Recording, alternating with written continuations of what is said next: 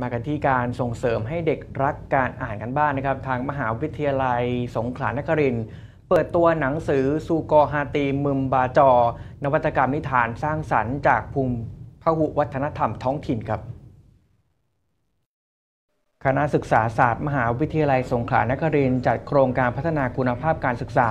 และพัฒนาท้องถิ่นครับโดยมีสถาบันอุดมศึกษาเป็นพี่เลี้ยง เพื่อยกระดับคุณภาพการศึกษาชุมชน และพัฒนาคนนำไปสู่ความมั่นคง มั่งคั่งและยั่งยืน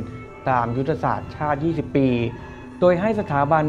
ศึกษาที่มีความพร้อมด้านความรู้ความเชี่ยวชาญ ทางวิชาการและเทคโนโลยีนำองค์ความรู้ไปพัฒนาการเรียนการสอน เพื่อลดความเหลื่อมล้ำทางการศึกษา มุ่งเน้นกลุ่มเด็กด้อยโอกาส แก้ปัญหาการอ่านไม่ออกเขียนไม่ได้ครับ การแสดงชุดชื่นใจเมื่อได้อ่านสุกอฮาตีมึมบาจอ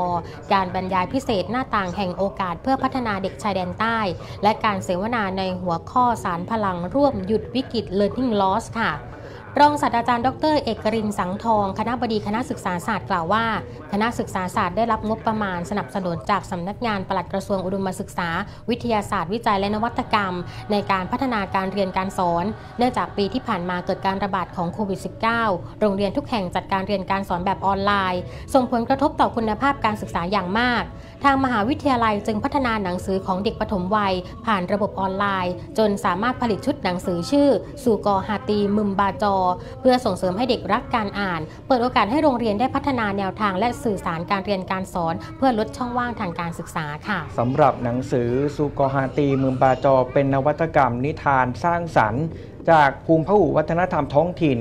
ที่ได้สร้างสรรค์ขึ้นมาภายใต้การพัฒนาของครูปฐมวัยในพื้นที่ครับ